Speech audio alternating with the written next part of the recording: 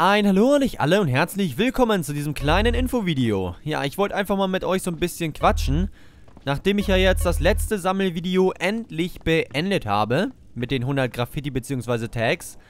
Und ich bin jetzt erstmal mega erleichtert. Mega erleichtert, dass ich diese Sammelvideos jetzt komplett äh, abgeschlossen habe und keines mehr kommen wird. Denn das war für mich keine einfache Zeit, denn das ist äh, wahnsinnig aufwendig, diese, diese Folgen zu machen. Und ähm, das ist nicht zu vergleichen mit einer normalen Standard 20 Minuten Story-Folge, wo ich halt 20 Minu Minuten aufnehme und dann habe ich das Video quasi schon fertig. Muss natürlich noch encodiert werden und hochgeladen werden, aber die Aufnahme ist dann natürlich schon beendet. Und ihr habt es sicherlich gemerkt, ich habe in letzter Zeit relativ wenig Videos veröffentlicht, weil ich in letzter Zeit auch fast nur diese Sammelvideos gemacht habe. Okay, zwischendurch kamen auch mal wieder Story-Missionen, aber nicht lange. Dann hieß es auch bald schon wieder, okay, jetzt kommt das nächste Sammelvideo. Ähm, ja.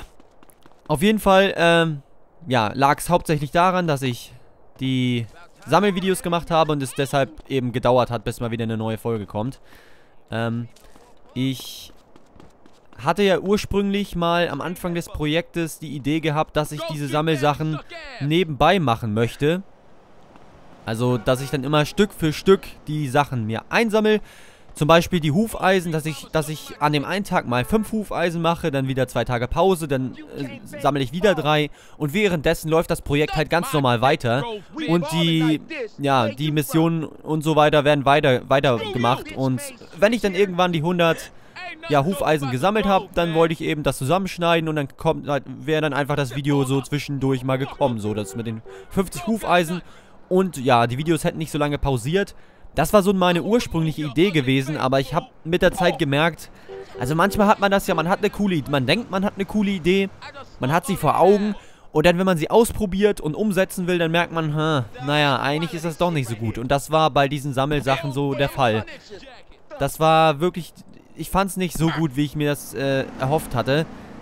Denn ich habe gemerkt, dass ich einfach nicht die Motivation habe, mich regelmäßig dahinzusetzen und diese Hufeisen und ähnliche, ähnlichen Dinge einzusammeln. Hm, da finde ich es lieber besser, wenn ich das einmal mache und dann halt alle auf einmal mache. Und dann bin ich durch damit. Aber dieses immer wieder alle paar Tage sich dahinsetzen zu müssen und diese Sachen einzusammeln, über einen längeren Zeitraum, das fand ich jetzt nicht so gut und deswegen habe ich es dann im Endeffekt auch gelassen. Ganz stark hat man das bei den Tags gemerkt.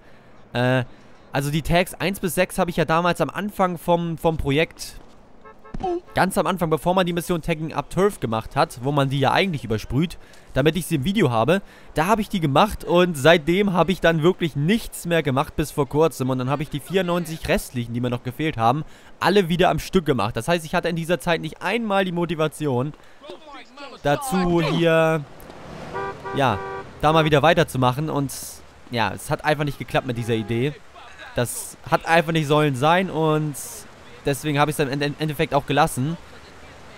Und ja, das war so eigentlich der ausschlaggebendste Faktor, warum ich das im Endeffekt doch gelassen habe. Ähm, ich wollte das einfach nicht über einen längeren Zeitraum machen. Und da habe ich es dann lieber jetzt in Kauf genommen, dass es wieder eine längere Zeit dauert, bis die nächste Folge kommt. Aber damit, dadurch bin ich dann halt damit dann auch durch. So und dieses immer wieder, wieder unterbrechen und wieder rausgeworfen werden, das ist nicht so meins. Und eigentlich hatte ich auch noch einen anderen Grund, äh, warum ich das jetzt gelassen habe. Ich, der fällt mir jetzt aber gerade wirklich nicht ein. Ähm, ich überlege nochmal kurz. Nee, das fällt mir wirklich nicht ein. Ähm, auf jeden Fall, äh, ja, reicht dieser eine Grund ja schon. Ähm, ich habe einfach keine Lust gehabt, über einen längeren Zeitraum diese Sachen immer wieder zu sammeln. Dann wollte ich es lieber an einem Stück mal durchziehen. Und ja, das ist aber nicht der einzige Grund für dieses Infovideo. Ähm, wir haben ja jetzt auf jeden Fall keine Nebenmission mehr zu machen in dem ganzen Projekt. Das heißt, alles, was jetzt kommt, sind Hauptmissionen. Vielleicht kommt noch das eine oder andere Special-Video. Das muss ich mir noch überlegen. Was auf jeden Fall nicht kommt, oder was ich denke, was nicht kommen wird, sind die 70 Monster Stunts. Da habe ich lange Zeit mit gehadert und, äh, ja, überlegt, soll ich sie zeigen, soll ich sie nicht zeigen? Und bin jetzt halt zu dem Ergebnis gekommen, dass ich sie nicht zeigen möchte eigentlich. Einfach weil der Aufwand ist erstmal viel zu groß und dafür bekommt man einfach nichts. Das ist, der, das ist das größte Problem, was ich damit habe. Also 70 Monsters dann vom Aufwand her müssten die aufwendiger sein als die 100 Graffiti. Einfach, wenn man den, man muss den Stunt halt erstmal finden. Man kann zwar mit einer Karte arbeiten und dann dahin fahren, wo, wo der Stunt markiert ist, aber man muss den Stunt ja dann trotzdem noch finden, weil manchmal sind an einem Fleck einfach vier verschiedene Rampen, die alle potenzielle Monster-Stunts sein können. Und da muss man erstmal diese vier Rampen durchprobieren, bis man dann äh, den Stunt erstmal gefunden hat. Und dann muss man den Stunt noch erfolgreich bewältigen. Und bei San Andreas sind die Monster-Stunts wirklich teilweise sehr übel und sehr schwer. Und dann nehme ich das ganze ja noch auf. Das heißt, in das Video würden dann ja nur erfolgreiche Versuche kommen. Das heißt, alle Fail-Versuche, die würden dann einfach komplett wegfallen. Und ich würde das ja dann immer wieder neu kommentieren, bis es dann eben klappt. Ich will ja keine Fails in einem Monster Stunt Guide Video dann haben. Und das ist einfach ein so großer Aufwand. Ne? Da musst du die erstmal finden und dann dauern die Stunts ja auch noch. Und das dauert länger als einen so einen Tag zu übersprühen, so einen Stunt zu machen. Das ist, glaube ich, logisch.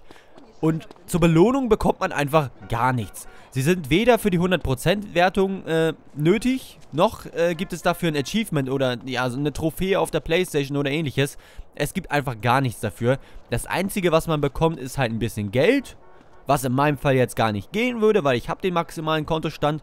Das heißt, da wird gar nichts mehr dazukommen. Es wäre einfach hinfällig, ich würde gar nichts dafür kriegen. Wenn man natürlich jetzt nicht den höchsten Kontostand hat und das maximale Geld hat, dann würde man natürlich noch Geld dafür bekommen. Das wäre ein kleiner Trostpreis, aber das würde auch nicht ausreichen, um mich dazu be zu bewegen, das zu machen. Und sonst gibt es nichts. Keine besondere Belohnung, kein Fahrzeug oder sowas. Von wegen, hier hast du ein Stuntfahrzeug zur Belohnung. Oder hier hast du ein Achievement, hier hast du was für die 100% Wertung. Das Einzige, was man vielleicht noch bekommt, ist ein Eintrag in die, in die Statistik, dass da halt steht, Glückwunsch, du hast 70 Stunts erledigt. Herzlichen Glückwunsch. Das ist in etwa so zu vergleichen mit einem Stück Scheiße, was auf dem Boden liegt. Ne, das stinkt einfach nur und sonst hat man nichts davon. Es kommt vielleicht mal einer auf, auf dich zu und klopft dir auf die Schulter. Hast du fein gemacht, aber sonst passiert da eigentlich nichts. Und deswegen habe ich mir überlegt, dass ich die weglassen möchte. Passt eigentlich nicht ganz so zu mir, weil ich äh, eigentlich immer möglichst alles zeige in einem Spiel. Aber bei dieser Geschichte sag selbst ich, dass sich das einfach nicht lohnt, das zu machen. Es gibt halt einfach nichts. Wenn es ein Achievement geben würde dafür, dann wäre ich sofort dabei gewesen. Denn dann würden Leute das auch wieder, wieder, ja, machen wollen, um eben das Achievement zu kriegen. Gibt es nicht. Würde man dafür irgendwie eine besondere Belohnung bekommen, ein cooles Stuntfahrzeug oder sowas, dann wäre ich auch dabei gewesen. Aber nur Geld, ganz ehrlich, nein. Da bin ich, da, da bin ich raus. Ähm, ich glaube, das ist Denise. Die nervt hier mal ein bisschen. Ich skippe sie mal ein bisschen. Gehen wir einfach mal nicht ran. Ähm, ja, ja, war sie auch. Egal. Ähm, ja, auf jeden Fall, das möchte ich nicht machen. Ihr könnt mir ja mal eure Meinung dazu in die Kommentare schreiben, was ihr davon haltet von, von meiner Überlegung, von meiner Denkweise. Würdet ihr wollen, dass ich sowas zeige oder sagt ihr euch auch, ja gut, es gibt da ja echt nichts für und warum soll man das denn zeigen? Und ich würde die selber auch nicht machen und, äh... Also ich weiß nicht. Also, daraus ein Video zu machen, ich meine, wer will die ganz ehrlich machen? Also ich weiß nicht... Also, ich würde die dann jetzt erstmal weglassen. Ich, vielleicht kehre ich irgendwann zu San Andreas nach dem Projekt mal wieder zurück und mache die irgendwie nebenbei oder so.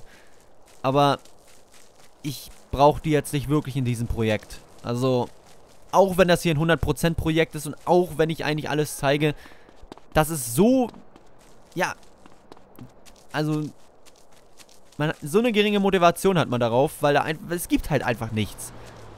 Also der Ansporn ist echt fast null auf, auf sowas, wenn es keine richtigen Belohnungen gibt. Deswegen, ja, so meine Denkweise. Wenn ihr eine andere Meinung dazu habt, dann könnt ihr es gerne in die Kommentare schreiben. Vielleicht überlege ich es mir ja dann nochmal anders, aber alleine dieser Aufwand, dann würde es wieder, weiß ich nicht, vielleicht wieder wochenlang keine Videos geben, nur weil ich so ein äh, Video mache über die Monster Stunts, wo es wo man als Belohnung einfach gar nichts kriegt. Das ist, finde ich, irgendwie ein bisschen Verschwendung. Und ja, das wollte ich eigentlich nur gesagt haben. Wie gesagt, jetzt gibt es erstmal nur noch, also es gibt nur noch Hauptmission, theoretisch. Vielleicht mache ich noch einen Special-Freundinnen-Part später. Wo ich nochmal alle Freundinnen zeige und zeige, was die so gerne machen, wie man die schnell auf, auf, auf die hundertprozentige Zuneigung bekommt und wie man schnell ihre Belohnung bekommt, die man halt von jeder bekommt. Immer so unterschiedliche Belohnungen. Vielleicht mache ich das noch. Und ansonsten war es das jetzt erstmal mit diesem Infovideo. Ähm, ich hoffe, es hat euch einigermaßen gefallen. War ja eigentlich nur zur Informations... Äh, ja, Verbreitung, keine Ahnung. Es war jetzt hier, ich bin ein bisschen rumgelaufen, das war einfach nur so, damit hier irgendwas läuft und ich nicht einen schwarzen Bildschirm hier vor mir, also hier habe im, im Video und ich nur darüber laber. Wollte ich hier ein bisschen rumlaufen. Auf jeden Fall, jetzt kommen erstmal nur noch Hauptmissionen und dann äh, gehen wir auch schon ins nächste GTA-Projekt. Und was das sein wird, das wisst ihr ja wahrscheinlich schon, wenn ihr die Abstimmung gesehen habt. Das ist eindeutig. Und ja, das wäre es dann erstmal mit diesem Video. Wenn es euch gefallen haben sollte, dann würde es mich wie immer freuen, wenn ihr auch beim nächsten Mal wieder dabei sein würdet. Und bis dahin sage ich mal ciao. Bis zum nächsten Mal. Peng. Schwing.